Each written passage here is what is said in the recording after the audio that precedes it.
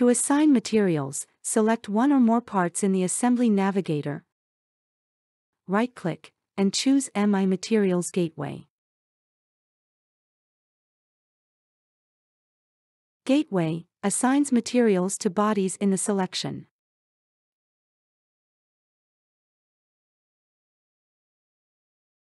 If your selected parts have no bodies,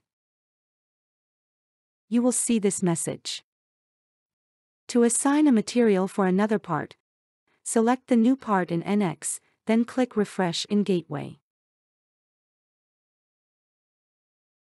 If you have made a favorites list, double-click to assign a material from your favorites.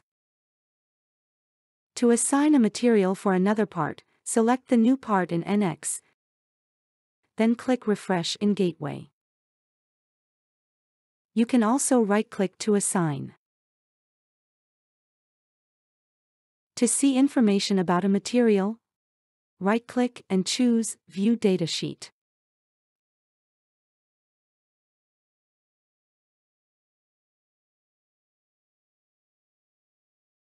You can even select multiple parts in NX. All the selected parts are loaded into Gateway.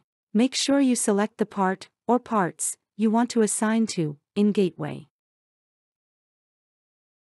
To assign a material that is not in your favorites, you can search all your company's preferred materials.